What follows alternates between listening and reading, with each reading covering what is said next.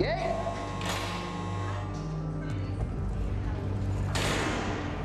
Move.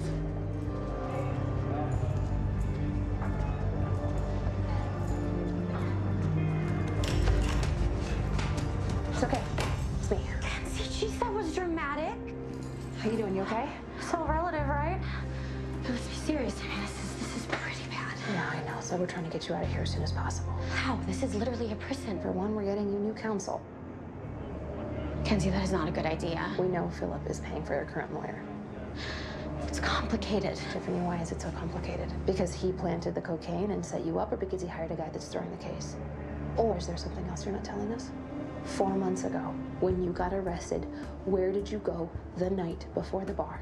I wish I could tell you, but I didn't do anything wrong. I swear, okay? You just have to trust me. Okay, I believe you. Thank you. So, uh, who's my new lawyer?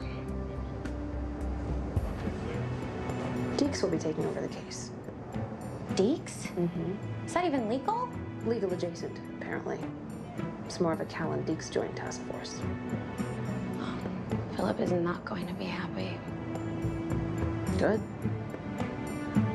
Something we can use.